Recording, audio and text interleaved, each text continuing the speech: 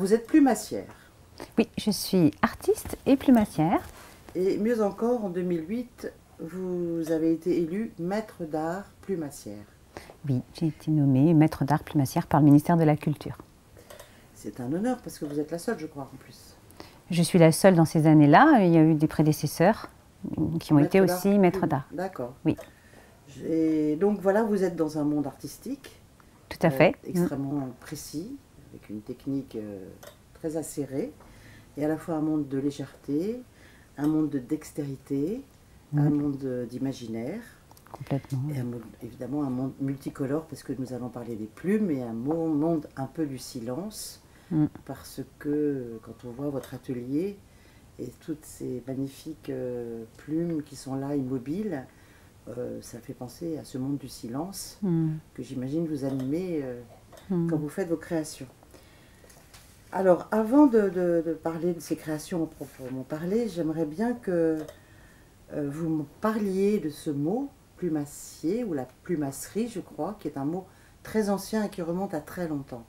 Oui, c'est un, mot, on pourrait dire que le dictionnaire n'a pas revisité ce nominatif, l'étymologie de ce mot et de son sens par rapport à un domaine appliqué, puisqu'en fait, la plumasserie, si on lit euh, dans le dictionnaire euh, ce que ça veut dire, c'est celui qui trie, qui vend, qui façonne euh, ou qui teint la plume. Enfin, il y a peut-être d'autres détails que j'ai pas en, mémoire, mais en tout cas, c'est quelque chose qui, euh, qui relève du passé. Et on n'a pas remis euh, au goût du jour ce mot, ni ce nominatif de métier. Donc il s'agit, bien entendu, pour moi, de, de- de maîtriser un savoir-faire au travers d'une matière et de savoir-faire extrêmement technique et précis qui date, en effet, du passé.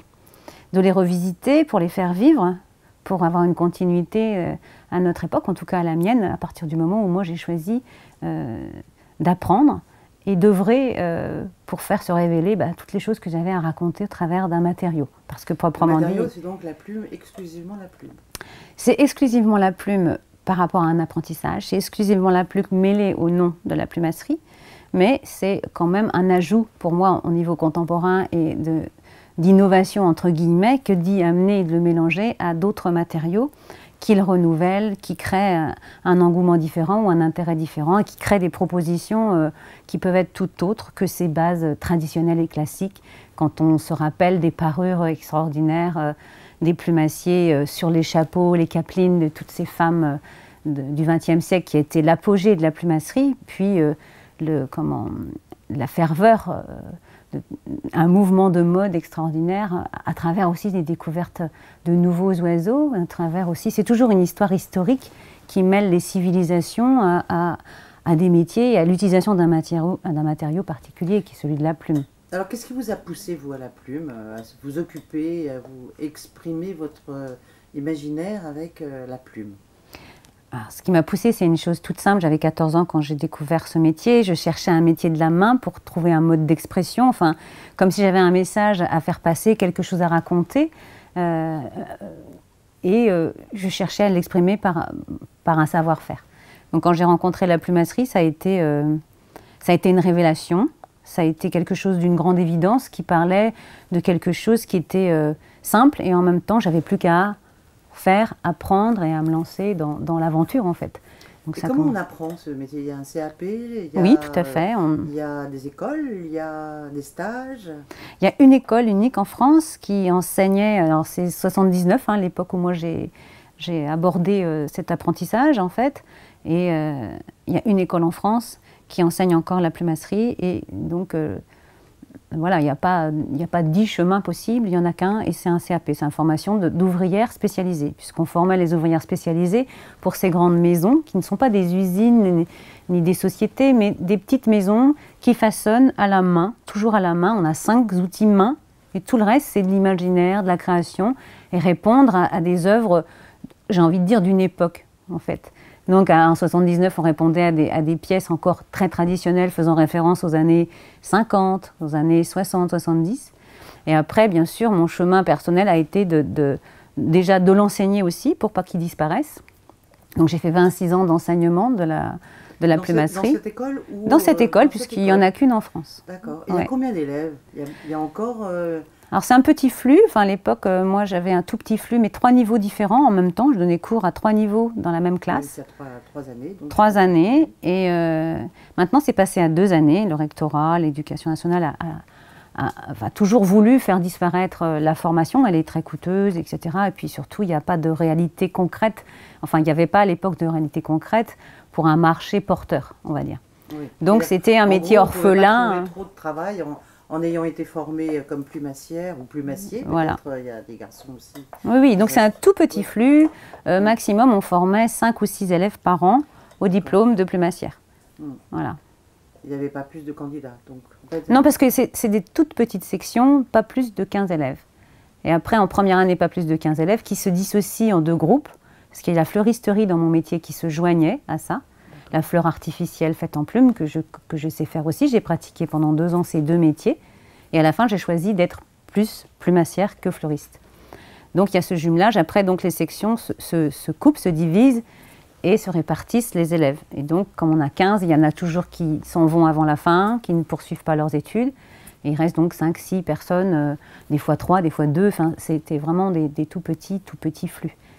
Et la formation, après, elle se poursuit euh, comme euh, à l'époque pour les, les, euh, les artisans euh, d'art, c'est-à-dire chez euh, un plumassier ou une plumassière. Tout à fait. Ah oui. Après, la- la- la- après cette formation, on est censé travailler directement dans ces petites maisons et entreprises qui façonnent la plume, euh, et principalement à l'époque pour la mode. euh, J'im- J'imagine la que vous devez parure. transmettre du savoir qui n'est pas, un- qui n'est pas appris à l'école. Je pense au tour de main, peut-être. ou- Bah, moi, j'étais quelqu'un du détail, c'est-à-dire que j'insistais beaucoup sur euh, cette pratique du placement de doigts. Tout ce qu'on m'a appris, j'ai estimé que c'était extrêmement important de le maîtriser après ces trois années. Pas du tout de la création, mais au contraire, maîtriser la technique, savoir vraiment, par exemple, le tourner. Tourner, tenir les tiges dans la main gauche pour arriver à, faire que la plume, elle puisse s'assembler. C'est des, des termes techniques. Qu'elle puisse s'assembler pour après être, être, euh, être montée en branche, être montée pour. euh, après, on peut la monter pour de- des, des parures de cabaret, monter pour faire des coiffures, assembler sur des chapeaux. Ça s'appelle la monture. C'est une des clés du métier aussi. Et donc, je me suis vraiment penchée Donc, sur vous, cette. Vous pouvez euh, montrer comment, comment vous faites C'est-à-dire que vous prenez. euh, on prend euh, un axe. Alors, est-ce que j'en ai un là? Oui. Gaël, euh, il doit y avoir un petit laiton. Un tout petit laiton. Voilà, super. Enfin, c'est un petit laiton un peu gros. Voilà, par exemple, cette tige, c'est une tige métallique recouverte d'une lame en coton, donc un fil, qui lui-même est tourné comme ça. Donc, le placement de doigts, il s'agit de voilà, placer ses doigts et puis de venir tourner ou des fils ou de la matière. Donc, ce fameux tourné qui, pour moi, c'est la machine de la plumassière. Ça, c'est une maîtrise, ça ne s'apprend pas en cinq minutes, surtout quand on doit passer sa vie à tourner. Donc euh, voilà, c'est une continuité dans l'existence que de voilà. Mais les bases et comment donc comment bien placer ses doigts. Tout mon travail d'enseignante pour moi, c'était de faire sentir et ressentir pourquoi ça a un intérêt de le faire comme ça. Elle, me disait toute, je veux le mettre dans ma main droite parce que je suis droitière. Je dis non, une plumassière, elle est droitière, elle prend les outils de la main droite. Et la main gauche, c'est la machine. Donc, tout cet apprentissage et tout mon travail était axé aussi beaucoup sur ça. Puis après, l'historique, bien sûr, du métier, succinctement, c'est un CAP. Et puis surtout, les former avec les bases d'un savoir-faire traditionnel, puis le collage, donc qui, qui nécessite un petit couteau à main, qui coupe, puis en même temps qui permet de coller les plumes de manière affinée, et quelques petites pinces qui permettent aussi de saisir les éléments les plus petits ou les plus grands pour faire l'extension des doigts. En fait, il n'y a pas beaucoup d'outils. Il y a cinq outils Cinq. à main. Ah oui. Cinq La outils à main. D'abord la main, La main, bien sûr. Et en plus de la, main- la- les deux mains. voilà. Et en plus, cinq outils. Et cinq euh, petits outils à main. D'accord. Voilà. Mais Qui ça- n'ont pas bougé depuis, euh, depuis euh, le 17e. hein. D'accord. Ça, ça n'a jamais changé. C'est un couteau à friser. Ça, c'est un couteau à parer. Une paire de petits ciseaux, une paire de ciseaux pour découper des âmes un peu plus épaisses ou pour les culots des plumes, mais tout ça. Pour moi, c'est important que cette tradition, en tout cas à l'époque, et c'est important que ça se transmette. Ça se transmette avec cette insistance de dire euh, pourquoi c'est important pour moi de- de- d'apprendre encore ces choses-là. Alors justement, vous parlez de transmission. Donc vous êtes professeur, vous Mm. venez d'insister sur l'idée de la transmission. Oui. Mais comment on transmet un- ce, ce métier? Est-ce qu'il est en train de disparaître? Ou justement, on- vous êtes quelques-uns à lui donner un peu d'essor. Ben, disons qu'on fait vivre son métier en, en travaillant pour son métier. Donc c'est ce que j'ai fait en parallèle de l'enseignement, c'est que j'ai travaillé pour d'autres. J'ai travaillé pour moi en tant qu'artiste pour exposer des pièces. J'ai travaillé avec des, créateurs et des collaborations, notamment au début pour la, mode, la haute couture principalement. Et puis ça m'a entraîné vers plein de chemins euh, différents pour faire rentrer ce monde de la plume dans d'autres univers, des univers où, ça n'avait jamais été euh, positionné, où personne n'avait eu l'idée d'aller euh, imiter de la fourrure avec des plumes, ou de la mettre comme une marqueterie de bois chez les ébénistes, dans des meubles, dans des, objets, dans des coffrets, des choses précieuses, d'imaginer qu'un clavecin, au lieu d'être peint, pouvait être complètement plumé, et que le décor sous la table d'harmonie pouvait en même temps lier euh, le son, d'un clavecin, c'est sur une plume, euh, de, comment, de vautour. Donc ce lien, après, c'est une part de poétique, de rencontres humaines avec euh, des gens qui me sollicitent pour des aventures professionnelles. Et puis, c'est toujours mêlé pour moi à, des rencontres humaines. Que ce soit un grand couturier ou la jeune femme qui veut se marier et qui veut un bouquet exceptionnel, qui veut garder toute sa vie comme une œuvre d'art et qui vient me voir en me disant Mélie, est-ce que vous pouvez faire ça pour moi? Donc, le leitmotiv pour moi, c'est euh, le partage, c'est l'échange, c'est la création et c'est d'offrir du bonheur, en fait. Euh, au travers de ce que moi j'aime profondément depuis que j'ai 14 ans. Pour le faire vivre, donc, eh ben, je suis passée par toutes ces étapes qui ont été des challenges plus ou moins imposants, parce que il a fallu prouver en faisant, et euh, c'est ce que j'imagine avoir, euh, avoir parcouru jusqu'à maintenant, et je pense que c'est loin d'être terminé.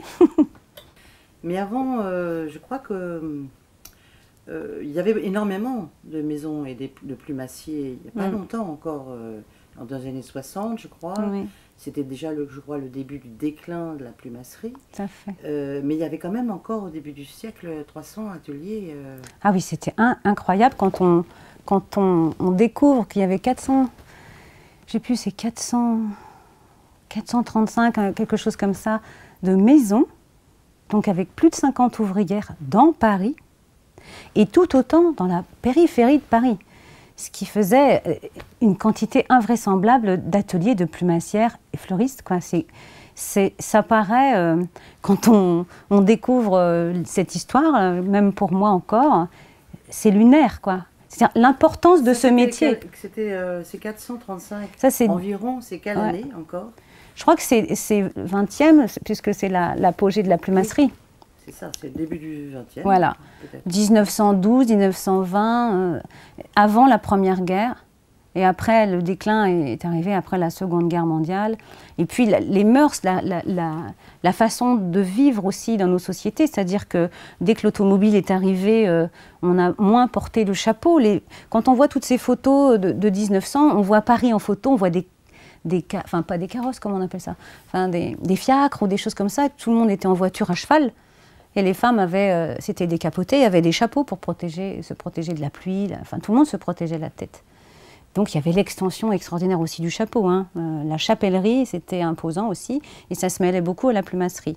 C'était euh, ce qu'on pouvait s'acheter de plus, comment dire, de plus référent et que tout le monde pouvait avoir, à peu près. Ça dépendait des classes sociales évidemment, mais, mais voilà, le déclin est arrivé aussi quand la femme s'est mise à travailler. C'est-à-dire qu'elle n'était plus là juste pour pour se parer et changer trois fois de tenue par jour avec son chapeau, avec le petit oiseau à la mode de l'époque, parce que chaque année, un petit oiseau était mis à la mode et on le portait sur son chapeau, euh, un peu comme les tendances, euh, et encore les tendances maintenant ont changé, on met tout, et, enfin, tout est généreux maintenant, on peut tout porter, on n'est on jamais démodé en fait. Mais voilà, enfin bref, c'était euh, toutes ces choses. Parce qu'en fait, la, plumasserie, c'est vraiment un art euh, aussi vieux que, aussi vieux que, le monde. La société humaine. Complètement. Parce que d'abord, ça a été la plume a été un, outil sacré, enfin un élément. Pour, euh, un élément du divin, certainement, un élément de reconnaissance d'une capacité à, à, se distinguer les uns des autres à, quelquefois, c'est même rentré dans, le grade militaire, c'est-à-dire que c'est devenu tel oiseau, tel type d'oiseau, tel plumet, le grade militaire, c'est-à-dire avant d'avoir les galons, ben, le casoar, euh, le, comment, les aigrettes, les plumets d'autruche, les plumets de la garde républicaine sont toujours rouges, petites poules, et euh, voilà, c'est des... Pardon, c'est de la poule, pardon. Appelle ça petite poule parce que ce sont des petites plumes rondes.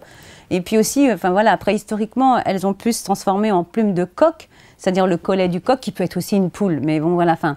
Après, le, métier de plumassière, c'est enrichi de plein de mots et de termes. Si je vous parle de pouf, vous allez me dire, le pouf, c'est un petit, un petit coussin sur lequel on s'assied. Mais le pouf en plumasserie, c'est pas du tout ça. Le pouf, c'est un montage particulier fait de telle plume avec telle autre, monté de telle manière sur le chapeau ou sur la tête. Donc voilà, si on fait des poufs, enfin, si on, retournait en arrière, on dit je voudrais un pouf dans un magasin, c'était complètement clair. quoi. Il ne s'agissait pas d'un ornement décoratif de la maison. Alors il y a eu des modes.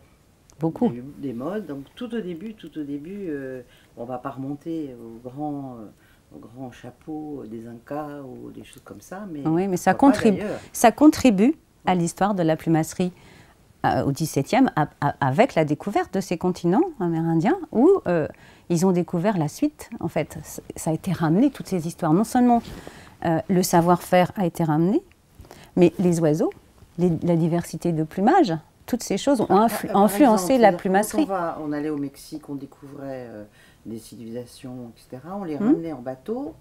Et c'était des, des, oiseaux particuliers C'était des... Alors, c'est pas qu'on ramenait les oiseaux en particulier, mais c'est qu'il y a eu un commerce qui s'est monté à partir de ces grandes découvertes, quand les comptoirs ont été ouverts. Enfin, ça, ça, a pris un certain nombre d'années, mais surtout, ce que je voulais dire, et, et, et, appuyer sur ce détail, c'est que les gens étaient admiratifs du savoir-faire plumassier des Indiens.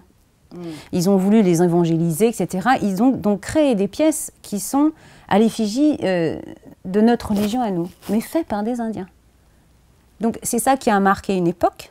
Et c'est ça qu'on peut retrouver dans les musées, notamment au Quai Branly, notamment au musée de Hoche, si je prends, ou en Allemagne ou en Alsace. Il y a des musées, euh, et en Belgique énormément, où on retrouve la trace de ces savoir-faire plumassiers anciens, qui sont des trésors, bien souvent, euh, euh, des trésors de technique.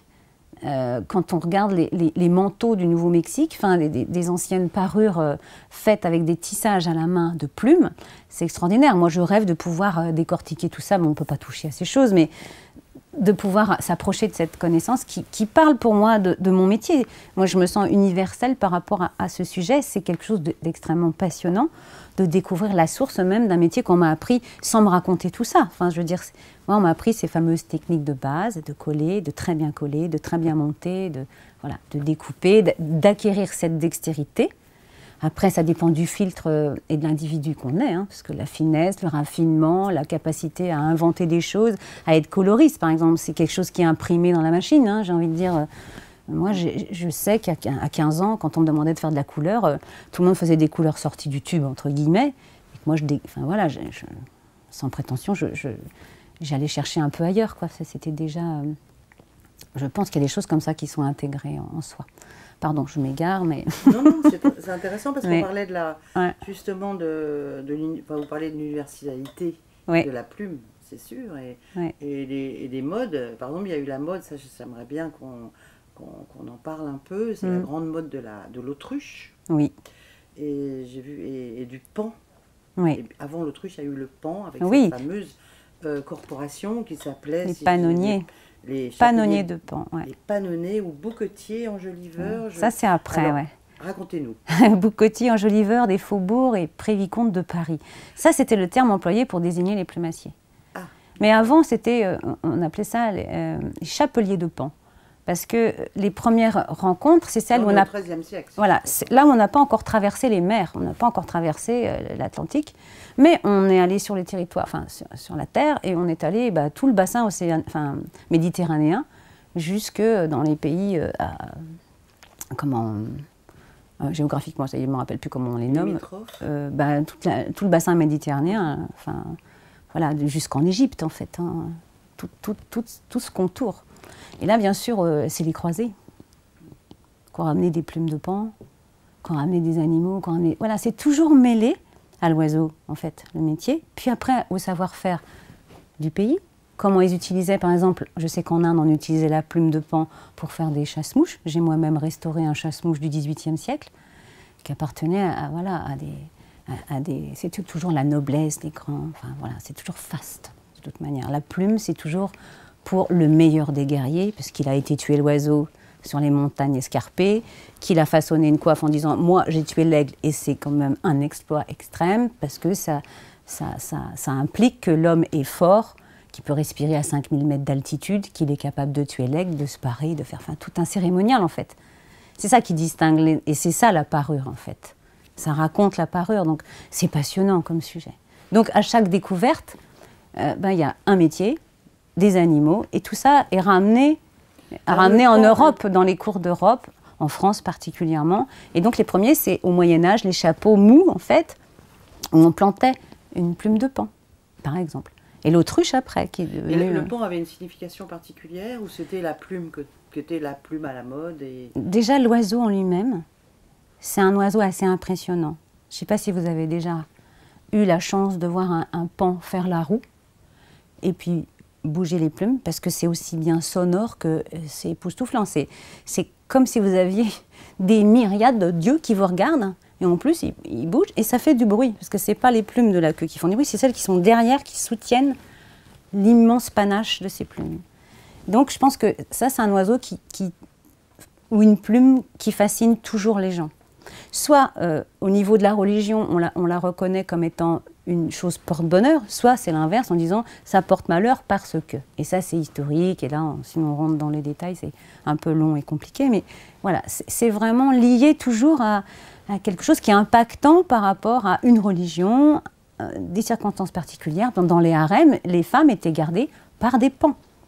On sait à quel point les pans sont des oiseaux hurleurs dans le sens où leur cri, tout le monde le connaît, c'est Léon, Léon, Léon. Et c'est hyper puissant. C'est un peu comme euh, quand on prend un porte-voix pour, euh, pour annoncer quelque chose. Donc on utilisait l'oiseau aussi pour préserver quelque chose. Euh, dans les usines anglaises, pour protéger l'usine de fabrication de whisky, il y a une armée d'oies qui protègent l'entrée.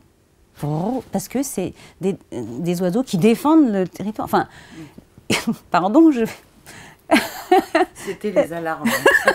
la plume, vous voyez, c'est. Mais tout ça contribue pour moi, enfin, c'est mon feedback à moi. Hein. Je ne l'ai pas lu dans un livre, c'est à force de, de découverte, de lecture, de petits points mis bout à bout qui me font dire toutes ces choses. Je ne suis pas dans l'affirmation, mais dans, dans, euh, dans mon filtre à moi euh, et ma vision personnelle de, de, comment les hommes se sont euh, parés, attribués d'eux, et, et, plein de gens l'ont raconté aussi à leur manière. Alors, un siècle plus tard, au XIVe siècle, arrive l'autruche. Oui. C'est la grande, le règne de l'autruche. Voilà, le règne de l'autruche. L'autruche a pris un essor considérable et euh, on utilisait d'ailleurs beaucoup plus de, de la matière même, parce que l'oiseau, c'est quand même une énorme, c'est une énorme bête hein, qui court à 140 km/h. Cette plume d'autruche euh, qui a été mise euh, au goût du jour en France, donc les femmes s'emplumaient d'autruche jusqu'à notre Enfin, d'abord, c'est pas les femmes qui ont porté les plumes, ce sont les hommes. Voilà, c'est la question que je voulais vous poser parce que cet ornement était d'abord un ornement masculin, oui, euh, et de pouvoir. En fait. De pouvoir. En, en, historique, le, on va dire le plus, le plus percutant des souvenirs, c'est Henri IV. D'ailleurs, c'est Henri IV qui a commencé à nommer les métiers, qui a commencé à nommer aussi la plumasserie. Quand on sait que ralliez-vous à mon panache blanc, enfin cette phrase est très connue, c'est c'est quand même, euh, voilà, c'est ce roi qui a mis. Euh, c'était une plume de quoi C'était une plume d'autruche. Reliez-vous à mon panache blanc, c'était une très grande plume d'autruche. Après, elle était peut-être pas montée comme on l'a fait après, parce que on s'est mis à transformer la matière, à la magnifier aussi. Mais c'est vrai que c'est resté toujours dans cette, cette, euh, cette séquence de l'autruche. L'autruche noire, l'autruche blanche. Très peu de couleurs, sauf pour. Mais c'est bien plus loin. Mais au tout début, c'est vraiment le panache du roi. Par exemple, j'ai un exemple concret où, quand le roi arrivait avec toutes, toutes ses armées pour parader sur une place, que ce soit celle du Louvre euh, ou peu importe, il, il était sur un cheval avec une armure. Il portait un casque avec plus de 26 plumes d'autruche au-dessus de la tête, très haut, perché, rouge, parce que c'était le roi et qu'on le distinguait de tous les autres cavaliers. Donc toujours cette histoire de distinguer euh, les, individus les uns des autres par rapport à un grade. Donc plus il y avait d'autruches, et, puis la couleur rouge, donc cette force. Après, dans chaque ethnie, par exemple les Indiens Kayapo, le rouge c'est la, couleur de la sociabilité. Donc chaque couleur va aussi avoir des influences et des, résonances, mais voilà, suivant euh, où on se trouve en fait, ça, serait tellement long à raconter. Puis moi je ne suis pas historienne, je, sais ça par amour de mon métier, mais voilà. Donc on disait, vous disiez les femmes, à ce moment-là, les, femmes, bon, les plumes étaient l'apanage des hommes, oui. puis l'autruche et les femmes se sont mis à porter des, plumes, parce que vous disiez des plumes d'autruche. Tout à fait, pour moi... Là, on est au 14e siècle, mm. euh, voilà, on commence à on commence par, euh, enfin, il y a un personnage en particulier qui, qui, a, qui a favorisé cette histoire, c'est euh, Rose Bertin. Rose Bertin, c'est une vendeuse, c'est une vendeuse de mode. C'est une modiste qui, a été euh, la chouchoute de la reine et qui a, permis à, la reine de, porter aussi bien des rubans, mais qu'elle a empanaché aussi de plumes qui étaient normalement l'attribut de son époux, du roi. Donc cette, partie c'est presque ridicule à l'époque, mais en même temps, elle a marqué son temps et elle a lancé la mode avec Rose Bertin de la femme emplumée à outrance. Ses coiffes étaient tellement démesurées qu'elles ne rentraient pas dans les carrosses. On allait jusqu'à une démesure. Et les fêtes, les carousels étaient. toutes les fêtes étaient illuminées de plumes, quoi des, choses incroyables, extraordinaires, comme une mascarade, enfin toute cette partie un peu folle, on pourrait dire que c'est les, nuits parisiennes, quand on pense aux drag queens qui dansent en plumée après, on pourrait penser que ça fait référence, et là on est dans les années 90. Et il y a eu un renouveau d'ailleurs à, ce moment-là, avec la plume. Et les oiseaux, c'est pas que de l'autruche. Bien sûr que non. il y a des aigrettes, euh, il y a des paradisiers, c'est des, des oiseaux de toutes les couleurs, c'est comment en fait? Alors la, richesse du monde animal, à partir du moment où, euh, euh, comme je vous disais tout à l'heure, toutes ces frontières et, tout ce commerce s'est mis en place, on a amené à profusion en France des, caisses et des caisses d'oiseaux venus de partout, de toutes couleurs, de, toute espèce en fait. Tout ce qui était bon à, récolter euh, était pris en fait. Et ça lançait des modes, parce qu'après, c'est les, grossistes qui, qui achetaient ces lots et puis euh, les faiseuses de mode, qui les mettaient à la mode Quand on disait cette année, c'est les deux petites, euh, les deux petites mésanges sur le chapeau euh, avec un tas de bouquets rouges ou verts, c'était la tendance. Les soirées, enfin tout était en accord, les vêtements et les parures. Les femmes étaient extrêmement coquettes. elles ont piqué la coquetterie des hommes. D'ailleurs, à un moment, l'homme est devenu austère, 19e, costume noir, tout noir, l'austérité totale, et c'est la femme qui a d'un seul coup porté les couleurs quand on, se réfère aux, costumes traditionnels où les hommes avaient des, vêtements brodés d'or et de fil d'or et de motifs, les femmes étaient dans la sobriété, des soies unies couleurs, et, les hommes étaient euh, avec les petits collants, les petits rubans, enfin tout ce qu'on connaît des perruques euh, frottantes et tout ça. Enfin, c'est vraiment euh, super intéressant de, plonger au cœur de tout ça. Alors là, derrière la fin du 18e, 19e, parce que c'est mm. là, à ce moment-là, à Paris, euh, il y a un nombre considérable, c'est pas 450, c'est 800, 900 maisons, mm. qui c'est la grande... C'est la grande folie, c'est l'apogée totale de la plumasserie. Avec, il faut savoir que la plumasserie aussi, les, on parlait des autruches tout à l'heure, mais ces petites autruches noires qu'on appelle des blondines, elles, elles accompagnaient aussi les chevaux, les dais des chevaux, les carrosses, les lits à baldaquin avaient des, autruches. Enfin, dans le cérémonial religieux, il y avait la plume, les éventails. Enfin, il y avait un cérémonial autour de ces objets religieux où la plume apparaissait. Aujourd'hui, on ne peut pas retrouver ça. Peut-être plus dans les pays euh, comme euh, le Portugal, l'Espagne, on peut peut-être retrouver des choses comme ça. Bien sûr, au château de Versailles, on va retrouver les dais euh, du, roi et de la reine, du lit Fontainebleau aussi, on va retrouver ces choses-là. Donc c'était aussi dans, dans, dans, les intérieurs, dans, la maison. Et puis ces fameux carousels, ces fêtes extraordinaires. Et puis c'est le déclin de la plumasserie, c'est-à-dire il n'y a plus de chapeaux. Oui, il y a moins de... Disons que c'est mêlé à l'industrie, Enfin, c'est mêlé au mouvement d'industrialisation, entre guillemets, où d'un seul coup, on a fabriqué plus à la main, plus des pièces uniques, mais euh, même s'il y avait des usines de fabrication de chapeaux. Hein. Mais la mode a fait quitter euh, l'arrivée de l'automobile énormément, changer les modes de vie, de la relation à l'habit, à la façon de s'habiller. Et puis, euh, le fait de pouvoir répéter un, un, vêtement. Avant, on faisait faire sur mesure un vêtement du dimanche, un pantalon, une veste. Donc, toutes ces choses ont contribué à la disparition aussi des métiers de la main, peut-être plus coûteux aussi. Et, puis, euh, il y avait un, moins des femmes dans le monde du travail. Moins d'intérêt, oui, voilà. C'est-à-dire que les plumes, c'est quand même pour des moments d'exception. ça a toujours été soit la, parure euh, d'exception, soit les moments festifs. On sort au théâtre, on porte une, une aigrette merveilleuse. D'exception ou d'exception de classe sociale. Ah oui, ça c'est extrêmement mêlé. Mm. C'est sûr que. les paysans, il n'y avait pas trop de plumes. Euh, il y avait un chapeau, mais il avait une autre forme. Il avait une autre matière, il était plus usé, ils en changeaient moins. Et voilà, c'est toujours enfin, en pourcentage et, en relation avec les moyens de chacun, évidemment. Mais la noblesse et, et, surtout, le, voilà, c'est toujours euh, par rapport à une hiérarchie et une capacité, le, pouvoir et la, voilà. L'excellence, c'est offert à celui qui peut se l'offrir. Et, euh, et puis voilà, mais dans les fermes, il y avait des poules extraordinaires, des pintades et des, et des plumes magiques, mais les femmes en faisaient plutôt des coussins pour se tenir chaud, parce qu'il y avait ce côté aussi terrien, plus pratique, terre à terre, etc. Et qu'elles n'avaient pas besoin d'aller parer euh, en ville. Et le petit chapeau pour la messe, et eh ben, un petit bouquet fleuri sur le chapeau, euh, s'il y avait ça déjà, c'était euh, la coquetterie du féminin. Enfin, je veux dire, c'est riche.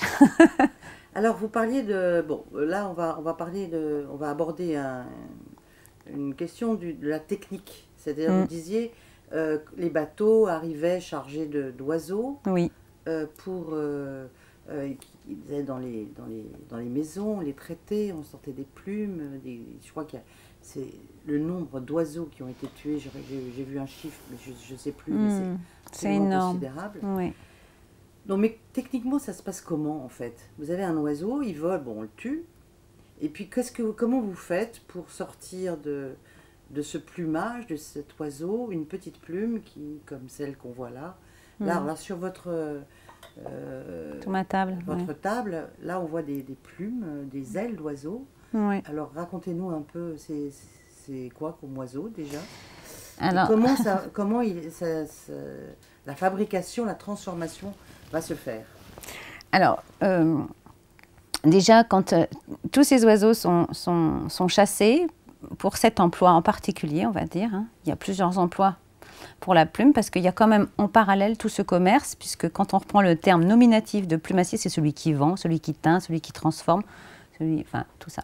Donc en parallèle, il y a toujours des plumes pour les édredons, les coussins à tenir chaud, etc., pour la literie, la maison, faire des canapés. On fait des canapés de laine à la campagne, mais on pouvait aussi faire des, des édredons de, du Védois. Donc voilà.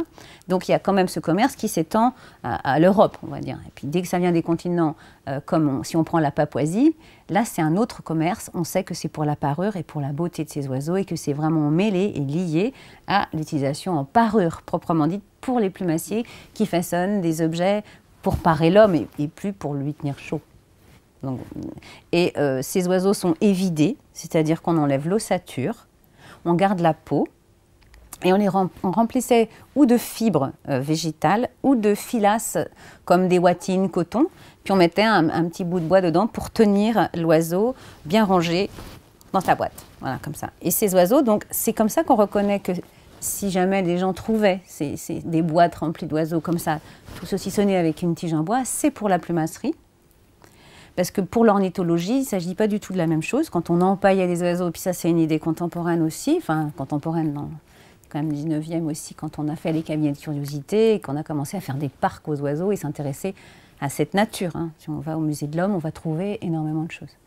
Mais euh, donc, euh, donc ces plumes, elles sont comme ça où elles sont triées une par une, mais là il s'agit d'usines. Mais ça c'est fait, c'est fait dans les, dans les pays respectifs, l'Angleterre, la Belgique. Fait. Et puis il y a le commerce. Venise aussi a beaucoup compté dans la distribution, euh, tout ça parce que ça passait par les eaux. Donc dès que c'est un pays au bord de mer et qui a une, une, influence, enfin une richesse, l'Angleterre c'est un, un pays qui a colonisé, c'est un pays qui a, qui a vécu l'aventure. Je dirais pas qu'au Portugal, il y a eu des plumassiers qui, qui ont abordé les côtes avec des, des caisses d'oiseaux. Et puis encore, je ne peux pas prétendre à savoir ça. Mais là, on peut se poser cette question. En revanche, je sais que, l'Angleterre, la Belgique et Venise et tout ça, c'était quand même des, endroits face. D'ailleurs, tout le monde, en pensant plume, se rappelle très très bien euh, les mascarades euh, et, le carnaval de Venise. Si on prend cette référence qui n'a jamais bougé et, dont on n'a d'ailleurs amené aucune modernité, on est sur une, une, référence qui ne bouge pas. Toujours la même forme de masse, toujours les plumes de coq, et, etc. Donc, pour revenir à votre question sur la matière, évidemment, là, on voit des plumes d'oiseaux euh, qui sont très anciennes. C'est un, flamand nain. Donc, c'est une, pièce, c'est un seul morceau. Voilà ce que j'ai pu trouver. C'est euh, des choses qui sont très rares. J'ai très, très peu de stock. Et, et ça, c'est des éléments, voilà, c'est comme des, des pierres précieuses pour moi, puisqu'il y a une réglementation qui est très, très importante qui a été posé à un moment aussi où on ne pouvait plus. Il fallait arrêter cette, cette, comment, cette destruction massive, si je peux le dire comme ça. Et j'ai pas envie de donner une excuse, mais j'ai envie de dire, il y a un moment où l'homme, dans ce siècle-là, 17, 18, 19, n'avait pas conscience que la nature pouvait disparaître. Pour les gens, dans leur mentalité, c'était une source inépuisable de richesse quand on allait enfin, quand on a découvert des continents comme celui des États-Unis, où la dinde, par exemple, le dindon osselé, existe sur ce continent qu'on n'en avait jamais vu, eh bien, cet oiseau, non seulement c'est un gros oiseau qu'on pourrait manger, élever, transformer, mais il portait des plumes extraordinaires que les Indiens montaient d'ailleurs en panache extrêmement beau. Et euh, eh bien, toute cette richesse, on ne pouvait pas penser, la pensée humaine ne pouvait pas penser que ça pouvait disparaître, puisque ça semblait immuable. Il y a eu un moment une alerte alors là, historiquement, je ne peux pas dire exactement quelle date, mais il y a eu une protection qui s'est mise en place. On a créé des, traités euh, en accord avec tous ces pays. Et c'est d'ailleurs la réglementation est toujours en place. C'est-à-dire que dès qu'il y a un oiseau qui peut disparaître, euh, je dis, en plus j'ai un exemple concret au Pakistan, le pan. Il y a eu un arrêté qui dit c'est fini, on ne peut plus utiliser les pans. Maintenant, il faut qu'il passe au CITES, c'est-à-dire c'est un passeport qui, qui, dit que cet oiseau ne peut pas euh, passer les frontières d'une manière facile. Parce qu'il y a besoin de protéger cette espèce au Pakistan. Nous, on a des oiseaux, des pans dans tous nos parcs européens et, mondiaux. Mais une plumassière, aujourd'hui, elle doit se prémunir d'un document spécifiant d'où vient cet oiseau pour prouver qu'il n'a pas été euh, ramené d'un pays étranger et qu'on aurait pu perdre une source euh, une source de, comment, de vie euh, beaucoup qui est nécessaire. Qui sont frappés de, justement d'interdits de circulation. Oui, il y a euh. beaucoup d'oiseaux qui sont protégés, puisqu'il y a eu beaucoup d'abus. Par exemple, euh, enfin, quand on regarde ces tableaux anciens où on voit à une époque, alors est-ce que c'est 17e, 18e, je ne sais plus, on voit ces tableaux où, où les gens possèdent un perroquet. Avoir un château et un perroquet, c'est un signe distinctif énorme. Et un perroquet, à l'époque, ça coûtait des fortunes. C'est le prix d'une maison, enfin des choses. C'était disproportionné si on regarde aujourd'hui. Aujourd'hui, on va pouvoir aller acheter un perroquet qui est bagué, dont on a la traçabilité, des papiers de détention, etc., qui, qui a été élevé par, voilà, enfin, toute cette histoire en fait. Et, qui a le droit de vivre chez vous, que vous avez le droit d'acheter. Il ne coûte pas ce prix-là, mais il coûte quand même déjà un certain, un certain prix. Ça reste quand même une matière d'exception que l'animal soit vivant ou mort. Après, on consomme des poulets, des pintades, des dindons, des dindes. Donc ça, c'est très différent puisque c'est ce qu'il reste de l'oiseau après qu'on ait consommé la chair.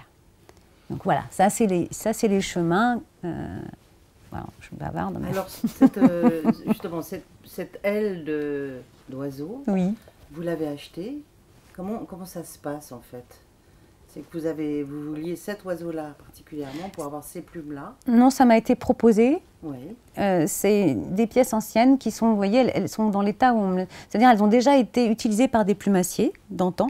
Il s'agit d'un stock ancien d'une maison qui a dû fermer, parce qu'il y a énormément de maisons de revendeurs de plumes qui a fermé euh, soit euh, juste avant la Deuxième Guerre mondiale, soit après nos années 70-80 où tout est tombé en désuétude puisqu'on ne pouvait plus vendre de plumes, ça n'intéressait plus les gens. Donc ça a été gardé soigneusement. Il y a des gens qui sont quand même des passionnés, notamment moi j'ai rencontré euh, par l'intermédiaire d'une belle fille en fait que son grand-père était un revendeur de plumes et elle avait gardé dans sa cave tout le stock qui restait à son grand-père. Elle l'a gardé pendant 30 ans. Elle ne savait pas quoi en faire. Un jour, elle m'a vu à la télé. Elle m'a contactée en me disant j'ai jamais jeté ce stock parce que mon grand-père, tous les ans, ouvrait toutes les boîtes soigneusement et on sentait qu'il y avait une vraie. Euh, pour lui, il connaissait la richesse de ce qu'il avait dans ses boîtes. Donc, eh ben, c'est des choses qui viennent de ces stocks qui ont été transmises comme ça et que j'ai acheté. J'ai acheté un lot de plumes comme ça. Donc, euh, qui ont déjà été plus ou moins utilisées par des plumassiers, qui ont été plus ou moins euh, déjà transformée. Je n'ai pas le corps, j'ai juste euh, des bribes de bout d'ailes. Parce que vous avez, euh, quand je suis venue déjà vous voir, il y avait, euh, je crois, des, des, des trempages. Enfin, j'ai vu des, des choses qui, Ah. qui, qui trempaient dans des petits bacs. Donc je me disais que peut-être que c'était les plumes que vous veniez de prendre sur un oiseau. Comment, comment elles sont Mm. conservées? Parce que je regardais sur le, le- euh, tous les mots euh, qui Mm. vont avec euh, cette euh, transformation, conservation. Alors peut-être, je ne sais pas ce que ça veut dire, marqué, mise en craie, je ne sais pas ce que ça veut dire, mise en bleu, souffrage des plumes. Est-ce que ce sont des termes encore que... C'est pas des termes que moi j'emploie Mhm. parce que ça relève à ce moment-là, ce que vous avez trouvé, de ce qu'on appelle à un moment, il y a eu l'industrie plumassier, c'est 1914 exactement, où là je sais qu'il y avait une industrie de la plume, c'est-à-dire qu'on a, on a traité la matière dans des usines parce que quand elles arrivaient, ces matières premières de pays étrangers, les plumes, elles sont sales, les oiseaux ne sont pas lavés. Donc il faut tout démonter, tout nettoyer, tout trier, parce que les plumes, euh, toutes les plumes qu'il y a sur un corps d'oiseau, c'est euh, des fois plus de 1500 plumes différentes. En plumasserie, soit à l'époque d'ailleurs, euh, si on reprend 19e, on avait les catégories séparées des plumes. Donc ce qu'on avait appelé, nous, on va nommer après. Elles n'existent pas, on va les nommer. C'est pas de l'ornithologie, c'est de la plumasserie. On va nommer favillon, satiné, coquille, nageoire, marabout, enfin, tous ces noms de plumes vont être des, des choses reconnaissables. Une Ces noms sont liés à la place des plumes sur... euh, Alors, à leur, à leur place ou à leur genre. Par exemple, si je vous parle d'une éméchée, une éméchée, il y en a sur le faisan doré, il y en a sur le faisan commun, il y en a sur le pan. Mais pourquoi? Parce que c'est la forme que, revêt cette plume. Mais elle peut être bleue pour le pan, bien sûr, elle va être euh, vert mordoré pour du faisan commun, et elle va être orange et jaune pour du faisan doré. Donc, en fait, les plumassiers ont nommé des choses, et puis après, la technique de transformation de la matière, ça, c'est des usines qui transformaient. Donc, blanchir à la craie, par exemple, je sais qu'on blanchissait des plumes qui étaient un peu grises, un peu salies par les urines des oiseaux, et on les blanchissait. Et ça peut être cette histoire de passer à la craie. Passer au bleu, ça veut dire qu'on va donner un éclat plus blanc au blanc, puisque sinon c'est ivoire, cassé, etc. Donc après, c'est des procédés chimiques d'une époque qui est révolue. On ne peut plus retrouver. pas ça. On ne peut pas retrouver les produits. Moi, j'ai beau euh, connaître le nom et le nominatif, etc. Alors, blanchir des plumes dans des urines putréfiées, par exemple, je ne vais pas aller trouver au magasin euh, ce genre de choses. On est bien d'accord. Donc, il y a un moment où les choses ne peuvent pas continuer de la même manière qu'au 19e. Et comment vous faites, vous, alors, avec euh, quand ça Là, vous avez ces plumes, vous allez les, les, les stocker, vous allez euh, les, les ranger par taille, par couleur Vous allez, Oui. disons, je ne sais pas si on peut dire désosser, déplumer, en fait, Alors, cette aile Quand, quand euh, j'ai des, des- ce qu'on appelle des plumes sur peau, je les démonte C'est le cas, là Oui, ça c'est une aile, hein, mais j'ai des peaux aussi. Je ne vais pas les démonter tout de suite. Parce que l'intérêt pour une plumassière, c'est de, de pouvoir avoir toutes les tailles visuellement en ligne de mire. Plutôt que de les avoir toutes éparpillées dans une poche où il y aurait, par exemple, les ailes. euh, Sur les ailes, il y a les flèches, les couteaux, les palettes, les satinés, les petites de couverture. Eh bien, si tout est mélangé, c'est encore plus long pour moi. Alors que les prendre directement sur l'oiseau me permet de les trier, de les séquencer sur mon poste de manière beaucoup plus rapide. Puisque ce métier est quand même quelque chose où 50% du travail, c'est la préparation de la matière, le lavage, euh, l'embellissement de la matière, donc le, fa- le fameux déployé à la vapeur, qui restitue la beauté du plumage. Donc euh, voilà, on, a- on est obligé de passer par là si on veut une qualité de matière exceptionnelle et si on veut pouvoir choisir la bonne plume. C'est-à-dire que toute plume doit passer dans ma main et sous mes yeux. C'est obligatoire. C'est-à-dire parce que cette sélection permet aussi d'aller vers l'exception du matériau, vers un choix après qui peut être complètement esthétique. Et puis surtout, euh, il n'y a aucune matière qui se ressemble. Par exemple, je vais décider de prendre une plume pour faire un pétale. Et je vais prendre, euh, je vais vous citer un nom, des satinés. Là, sur mon poste à côté, il y a des satinés. Mais il y a des satinés. sa- C'est les plumes vertes que nous Voilà. voyons. Ce sont des satinés d'oie, des satinés de sterne. Ce sont des petits oiseaux de mer. Et ces satinés, elles vont avoir Une satinée, c'est une, plume moyenne Ah non, alors la satinée, c'est exactement sous l'aile de l'oie. En plumasserie, tous les oiseaux ont des satinés avec des proportions et des tailles différentes. Cette plume vient protéger le petit muscle et l'os. N'a pas de fonction pour voler, etc. Elle vient juste protéger euh, à cet endroit où, les chairs et l'os sont apparents, petites. Voilà, elles viennent finir la cour. comment Il faudrait que je vous montre une aile pour, pour, que vous voyez où ça se trouve. Mais elles viennent se positionner à un endroit sous l'aile pour le vol aussi, pour empêcher l'air de passer et, et, le muscle. Donc ces satinés-là, eh bien, elles ont, elles ont toutes sortes de formes et de, compositions, comment veut dire. C'est comme une architecture différente. Moi, je vais après euh, dompter cette matière pour lui dire je veux que tu ressembles à un pétale de telle fleur et je vais, avec mon petit couteau, la faire glisser sous mes doigts, essayer de la friser, lui donner le genre que je souhaite. Et eh bien, si cette plume n'est pas choisie comme il convient, et eh ben, elle, elle, est retort des fois. Je la frise, elle va partir à gauche complètement de travers et c'est pas du tout ce que je veux. Donc le choix d'une matière, la sélection de ce matériau, c'est extrêmement pointu. Donc ça demande un travail euh, énorme, ce qui ne se voit pas quand on a l'objet fini. On peut avoir une chose extrêmement simple de conception et en même temps, on ne peut pas mesurer le travail si on n'a pas soi-même été euh, comment, enfin, sensibilisé, Ou initié, initié à tout ce, qui, tout ce que ça comporte comme connaissance. Alors ces plumes, elles sont vertes c'est normal. Vous les avez teintes euh, Alors, il y a de très beaux oiseaux qui ont des plumes vertes d'un vert éclatant extraordinaire.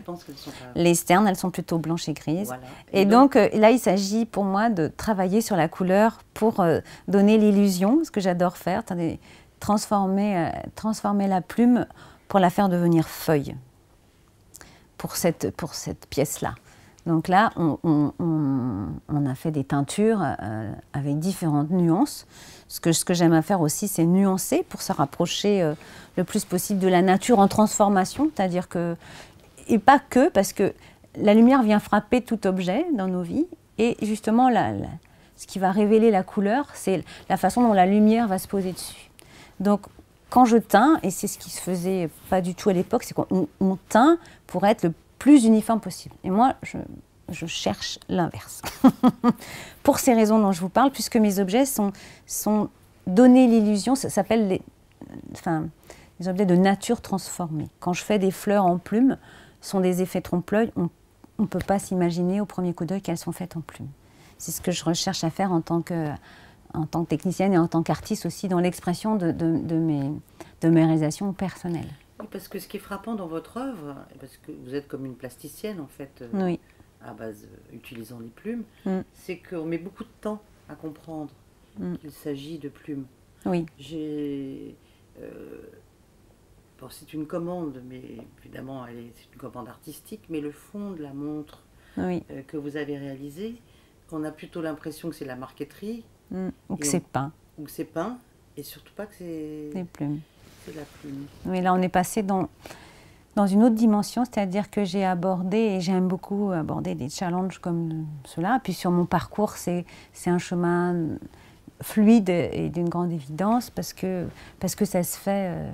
Euh, pour moi, c'est comme si c'était écrit les choses, donc aller vers la haute joaillerie notamment, puisqu'il s'agit de, de, rentrer aussi en, collaboration avec euh, d'autres contraintes qui ne sont pas des moindres. Hein. Quand on dit on a 2 mm il ne faut pas dépasser euh, le 0,0. Euh, voilà. Donc là, on est dans une autre contrainte. Et c'est vrai que c'est une autre partie de, mon travail où je suis rentrée dans l'infiniment petit, dans un, monde, dans un monde, connaissance de la matière, mais connaissance de, dont on parlait tout à l'heure des techniques, mais de la couleur, du reflet et de la transformation de ce matériau, décomposition de la matière pour, pour lui donner l'illusion, voilà, d'être une très grande plume normale alors que c'est une toute petite ou une partie de trois petites barbes de plumes pour reconstituer là pour le coup ou des oiseaux ou des effets euh, des effets de style des effets de marqueterie des choses comme du motif textile ou des choses qui, qui se confondent où on ne sait plus trop au départ euh, où on est donc revenir à ce que vous disiez tout à l'heure de mm. l'idée de ne pas voir que c'est de la plume mm. et de transcender, transcender la matière, c'est une, c'est, euh, un peu ce qui me qualifie sur mon parcours, si j'ose dire, et, qui, euh, qui, fait son chemin encore, enfin, qui, qui est loin d'être fini, j'espère. c'est comme si j'étais dans. Enfin, c'est bizarre de dire ça, mais après 35 ans, j'ai l'impression d'en être encore au début. Parce que on a plein de choses à dire. En fait, c'est un métier d'une grande richesse. J'ai pas tout exprimé. J'ai beaucoup dessiné là où je voulais l'amener, la plume, mais j'ai pas encore eu soit l'opportunité, soit les moyens au niveau de temps et financier de le faire. Vous disiez c'est très cher. vous disiez l'école, l'apprentissage est très cher, et donc je pense que le matériau aussi est très cher. Hmm. Euh, ce qui est très cher, c'est le temps passé. Euh, quand euh, notre société elle nous demande de faire tout très vite. Et je pense que c'est un détail important, c'est que j'aimerais que les gens prennent le temps de découvrir vraiment ce que c'est. La transmission de mon métier, c'est aussi par apprendre à mes clients que le temps, c'est une qualité, c'est l'excellence, et il faut donner du temps pour faire de très très belles choses. Et, et aller loin aller loin quand on pousse euh, quand on pousse l'extrême en faisant une miniature, on est obligé de la photographier tellement près pour montrer que c'est de la plume. Enfin moi ça me dérange un peu à ce moment-là, mais, en même temps voilà on est maintenant obligé de je veux dire d'interpeller un peu fort quoi parce que c'est la clé quoi. Les métiers d'art, on le vend en poupe, mais les métiers d'art, euh, c'est pas le même prix que quelque chose qui est fait industriellement, même si le designer, euh, machin, on, voilà, on va, avoir euh, toute une qualité de travail exceptionnelle de création, un objet fini qui va être répété, mais l'unicité, la pièce unique, le fait main, c'est un autre monde. C'est un monde oublié par le, les gens au quotidien il faut avoir des moyens, c'est sûr. Donc ça revient à, cette histoire du passé. Il a toujours fallu, c'est ça qui est dingue, c'est qu'il a toujours fallu euh, des moyens pour avoir euh, des belles choses en plumes. On peut, avec quelques plumes euh, se faire extrêmement plaisir en faisant. Enfin, la plume, de toute façon, c'est une œuvre d'art. Si vous prenez une plume, c'est un tableau, c'est une beauté, c'est infiniment. Enfin, moi, c'est magique. Donc euh, je la vois toujours et encore. Je m'émerveille toujours devant mon matériau. Et j'ai pas fini de découvrir toutes ces espèces parce qu'il faudrait que j'ai les oiseaux en entier, que j'ai le temps de. Même sur ceux qu'on n'a pas le droit, parce que c'est riche, quoi. De la plus petite à la plus grande, n'importe quel oiseau a, un monde en soi. Euh, c'est quand même assez insensé comme matière quand on y pense. C'est quand même le seul animal qui est libre d'aller là où il veut, quand il veut, et de posséder. Enfin, c'est un dinosaure, l'oiseau. Moi, c'est toutes ces histoires, ça me balade. C'est un ancêtre des plus anciens pour nous. Donc, c'est grand respect, c'est de la magie. à nous d'en faire des merveilles encore.